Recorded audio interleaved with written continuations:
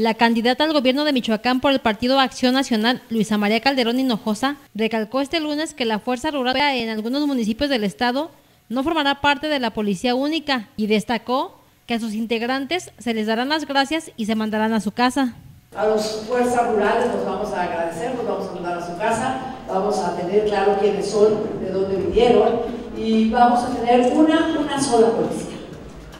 No se llamará de ninguna manera más que será una policía única de la que yo seré responsable, a la que yo conoceré cuál es su historia, dónde viven, cuál es su familia,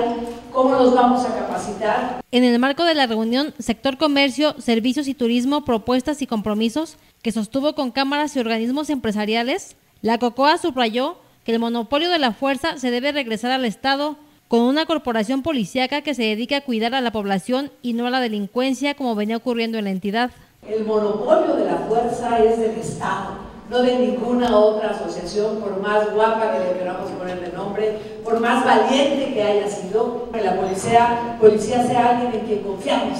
porque pues es la que nos cuida, pues nos debería cuidar, tiene varios años cuidando a los delincuentes, a que nos ayudaron a subir a gobernar, entre las peticiones que se le hizo a la candidata del Albeazul en esta reunión, destacó la asignación de un mayor presupuesto para el sector, la construcción de centros de convenciones en las ciudades más grandes del estado y la conclusión de obras que permitan el desarrollo del puerto de Lázaro Cárdenas, entre otras. Aquí tenemos pues el presupuesto más bajo con el 0.19% de nuestro presupuesto. La mitad que tiene Oaxaca, por ejemplo, ¿no? Este, el, el apoyo a los festivales culturales, eso también es un punto que tenemos clarísimo, ¿no? Lo del centro de convenciones, eh, el aeropuerto Lázaro Cárdenas, la carretera costera.